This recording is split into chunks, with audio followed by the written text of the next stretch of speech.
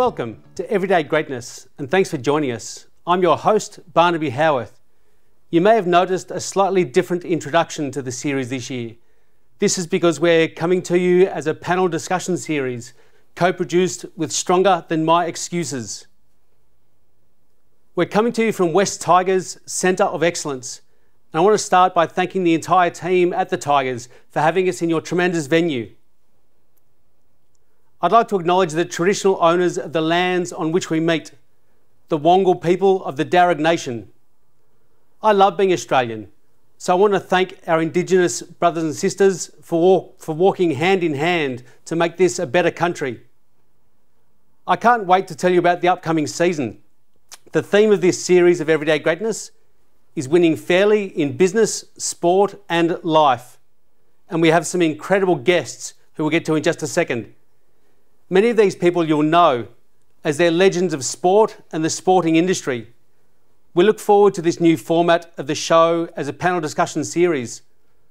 I'll be asking our panels why they think winning fairly is important, the outcomes people can expect if they win fairly themselves, and the actions they can take to be good people in business, sport, and life. Before we officially kick things off, I'd like to thank all of our sponsors for this series, whose logos you'll see across your screens at various times. I'd especially like to thank the major sponsor of every series of Everyday Greatness, the ARA Group. We'll have some more about ARA at the end of this episode. I'd also like to thank the crew at Look Studio Australia for your technical expertise and your recording work. Right, now let's get this show on the road. Our panel today will be talking about winning fairly in business. I'd like to introduce our esteemed guests. Firstly, we have Alex Opacic from Athlete to Business, Steve Tolen from Pinpoint Talent, and Shaun Mielekamp, General Manager of Community Foundation and Affiliates at the Wests Tigers and the former CEO of the Central Coast Mariners. Thank you all and thank you. Welcome to Everyday Greatness. Thank you. Cheers, Thank you. We're here to talk about winning fairly in business. We want to get deep straight away and ask our panelists why. Anyone can say they're a fair business person, and that statement is hard to challenge because being fair is a tough thing to measure. So, in a cutthroat business world where nothing gets approved unless there's a compelling cost benefit analysis, is being fair even necessary anymore? Or is it just getting in the way of being more productive and making more money? Let's hear from Shaun on this first. Shaun, as a leader in the business side of sports clubs, your job security is dictated by win loss records.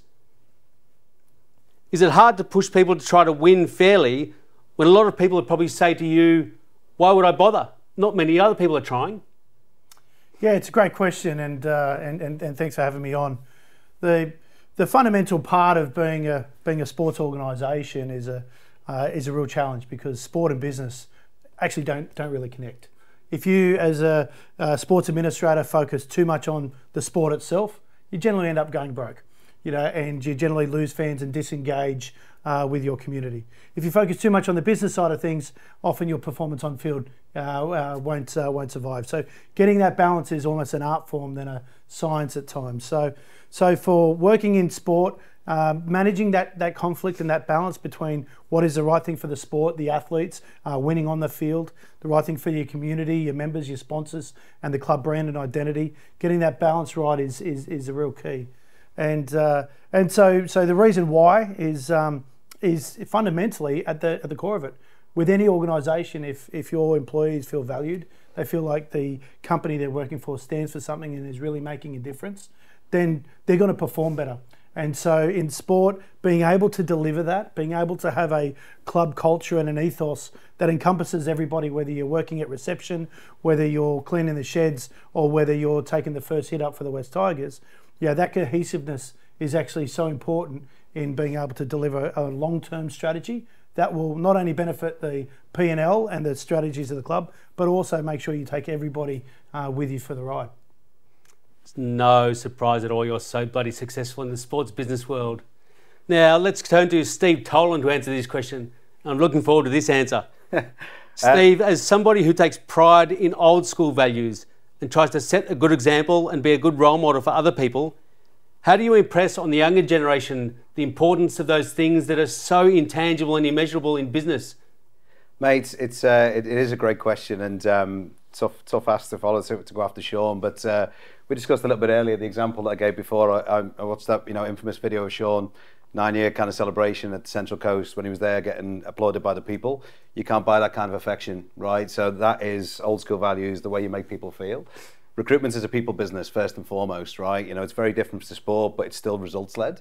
So, you know, I always have this very working class term where I say to the team, we're, we're dealing with people, not cans of beans. And they look at me and go, geez, there's your age. but it's true, people have feelings, commitments. You know, we've had a very turbulent year in the economy. Um, a lot of people looking for work, senior people looking for work. So people can see those that go the extra mile, and the key word is care. They can tell who genuinely cares. You know, we're very big, similar to sport, on feedback from candidates and clients alike. So that's why if you want to be successful, you really have to go further than numbers and kind of activities. It's about actually caring. So that's what we really impress on the team. Very good. Now let's turn to Alex Opacic, a former elite basketballer himself.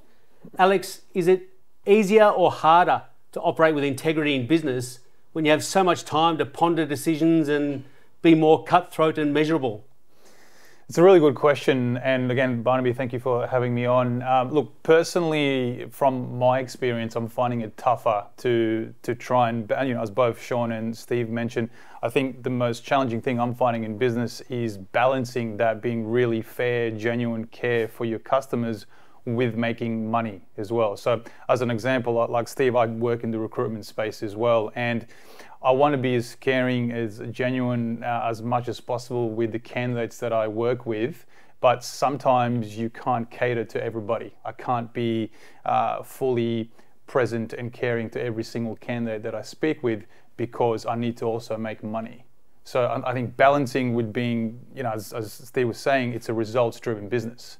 So my challenge in business is focusing on generating revenue and money, but being caring and, and genuine with everybody as well at the same time. If I focus too much on this end, I might not have time to make money. But if I focus too much on that end over here making money, I come off as not caring and not genuine. So I think it's it's bridging that gap.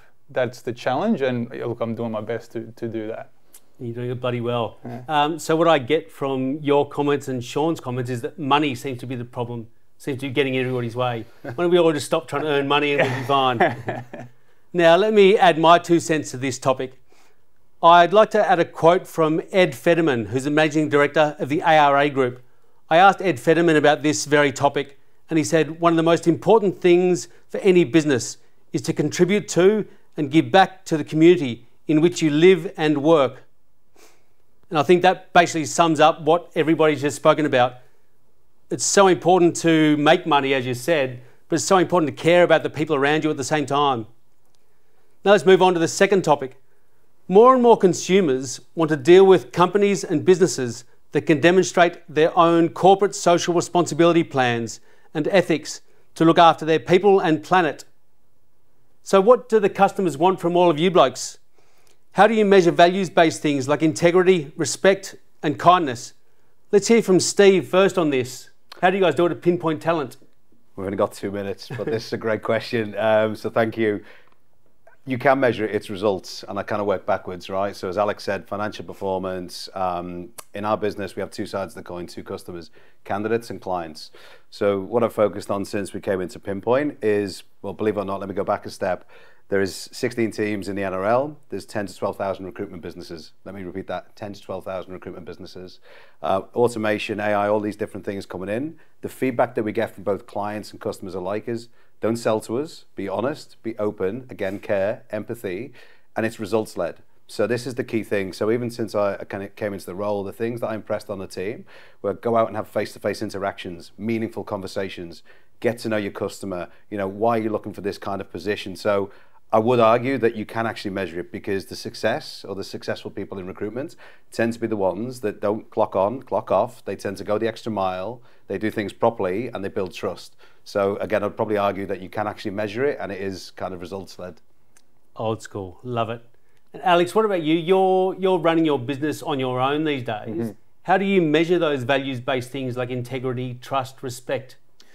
Coincidentally, those are three of the values within my business as well that I've set for myself. But I try and be aware of it. Just be aware of what I'm doing day to day when I'm interacting with candidates and clients as well. But to give a more specific example, when I worked for a company, one of the best companies I, I worked for, which is Southern Cross Austereo. Actually, it's kind of where I, where I started my uh, career in the corporate world after basketball. I'm so grateful for that experience. But what they did was they rewarded good behavior, being fair, values. So we had a monthly uh, catch up with the whole team in, in the business and the, the managers were just aware when somebody went the extra mile for a teammate or for, for a colleague for a client and at the end of the month they would they would make everybody aware of what that person's done publicly and reward them with some sort of re- re- reward you know it could be a voucher it could be you know take your wife or husband out to the movies or whatnot but just making people aware of that person did xyz to be fair to be kind to be adhering to our values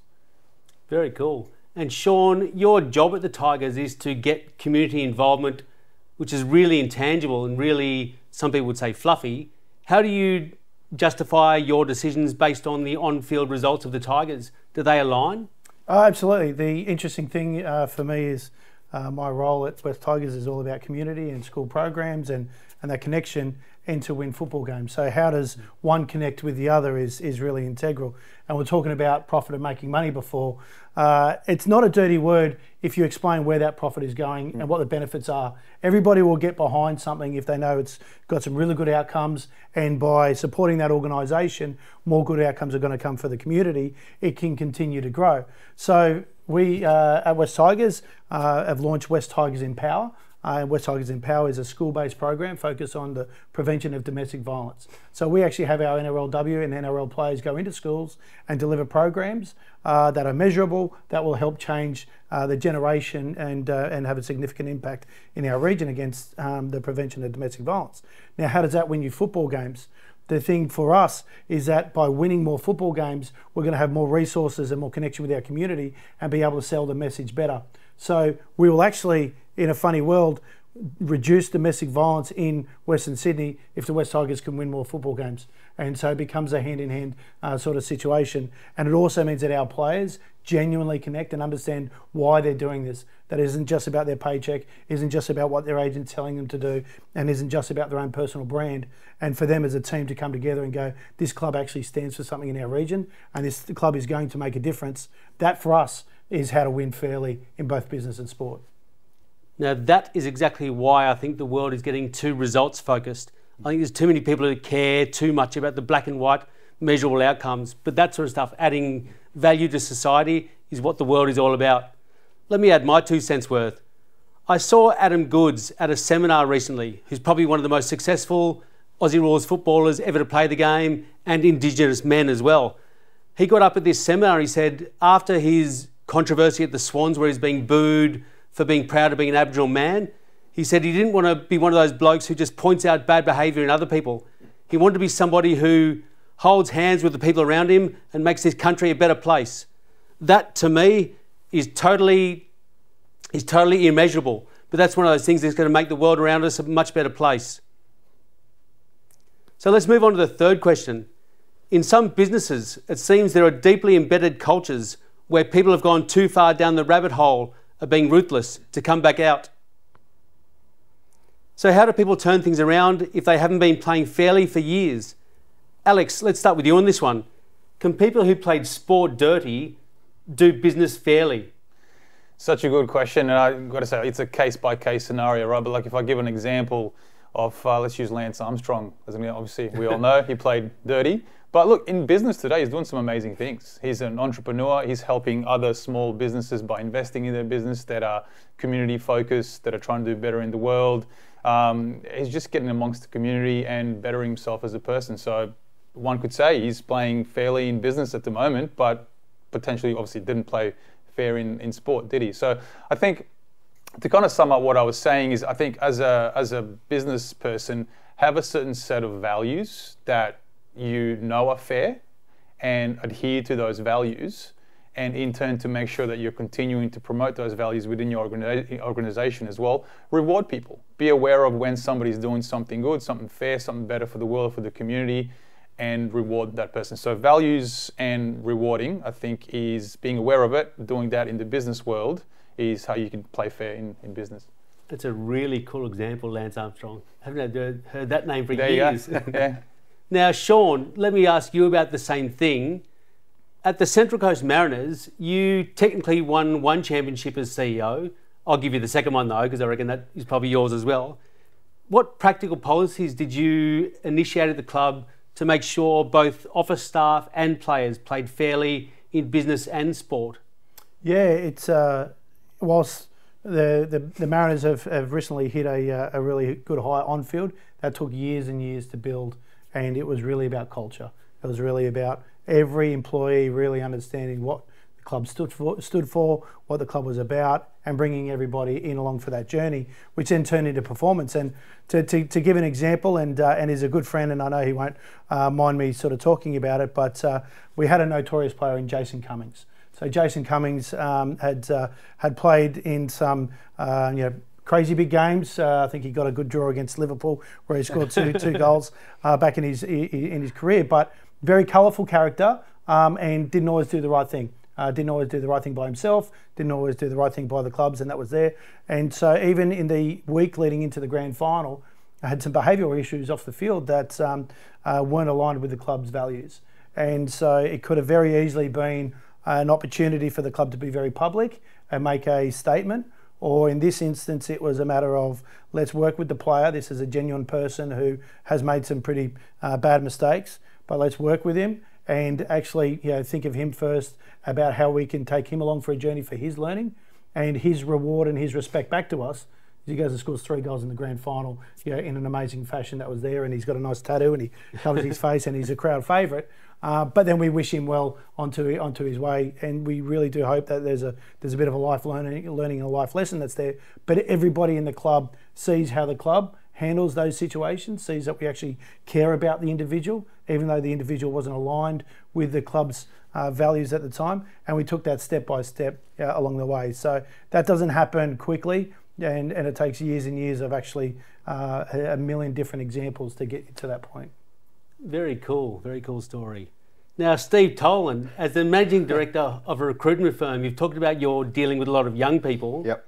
What practical policies do you guys have in place that helps to push those uh, those intangible meanings and help make people win fairly in business? I've just got to say, scoring two goals against Liverpool. I'm an Everton fan. So I was quite happy with that, mate. So he sounds like a fantastic player. Uh, just to cover that off, but um, it really does, you know, and I, I do love that example. Um, you can say old school in terms of my my methodology, my kind of values. Um, the key thing, mate, I always say I lead by example. Um, you will find people have got much better admin skills. I'm terrible with a computer, all these kind of things. So, but what I do is I lead by example. I I know my personality type. I'm a red. You know, I'm assertive. I just want to go, and others have to kind of pull me back and go, whoa, whoa, whoa, whoa. Just think about this. But I'm already off, and I'm, I'm proud to lead by the front. So if I ask you to do five meetings, I'll do ten. So all these kind of things, people will observe and look at how you kind of show up every day. Positive mindset is key. If you don't believe you can do it, then your team, you know, is going to be the same. They're going to be fearful. So that's the way that I do it. And the second part of that is, and as you know, I host quarterly events um, called Change the Game. And we invite other people from even competitors in to come and see what we're doing as a business, to understand, to listen to people in the industry. And questions go, well, why would you invite competitors? Because my vision is bigger than what most people can say. I actually want to disrupt and change the game in the industry. That's why I do it. So what I believe is if we actually lift up the whole industry, then that will provide better service, better value to you know clients and job seekers. So may hope that answers the question. Answers it perfectly, as per usual. Thank you. I just want to add my two cents on this one. I think winning fairly is so much more important and so much simpler than people realise. At the Sydney Swans AFL Club, they talk about like versus respect where you don't have to like everybody you play with, but you have to be respectful and, pardon the French, but not be a dickhead. And I think if people live their lives that way, the world would be a much easier place and a lot more business would get done. Now, lastly, I'd like to ask all of our guests to wrap up their messaging and their their sentiments with one word to wrap up the actions we just spoke about. One word that's an action that viewers can take away to implement all the things we've just discussed. Let's start with you, Shaun. What's your one word to sum up your messages? Yeah, I think my one word is going to be empower. I really think that it's a strong word, and if you take that opportunity to empower those that are around you uh, for them to grow, then uh, then you're on a good place. Very cool. Empower. And Steve, what's your one word? Consistency. Consistency is key, and it's going to pay me for saying it. I'm in the Wests Tigers. I'm a Manly fan. The Panthers, at the moment, are the definition of consistency. Um, they are like you, you know. You talk about that grand final. It's consistency. Everyone knows their role in the team and stuff. So consistency to me is the key.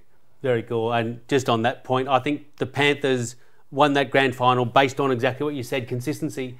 They didn't drop balls, they didn't miss tackles, they did all the small things well consistently for the whole game. So I totally agree with you. Consistency, good word. And Alex, what's your one word? Mine is values, values driven. Set uh, values that you live by. That that's what you're made up of, and and follow those values. Treat others with those values. Make sure if you're hiring within your business as well, hire by those values. So values driven.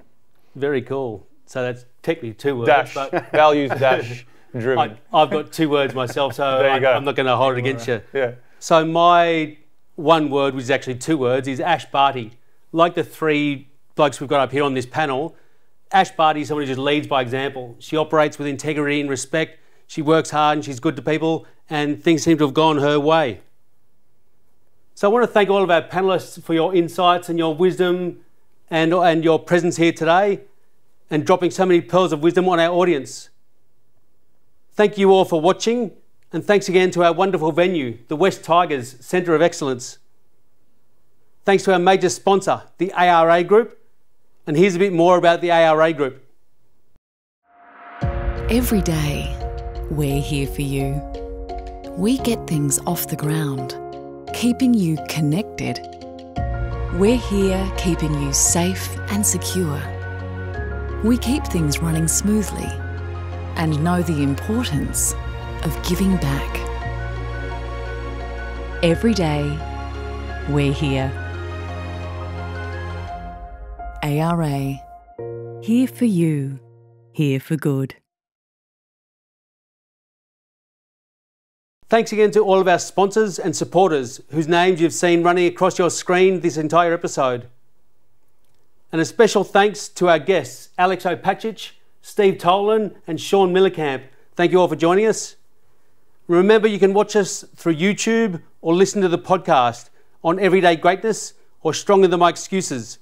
And please share this episode with anybody you think might benefit from watching it.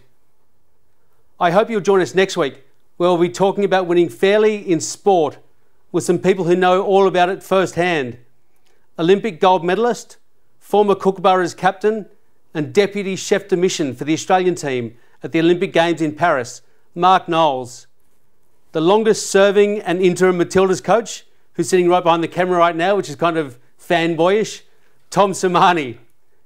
And also Nathan Katz from Team Katz is an Olympic athlete, judo coach, and keynote speaker.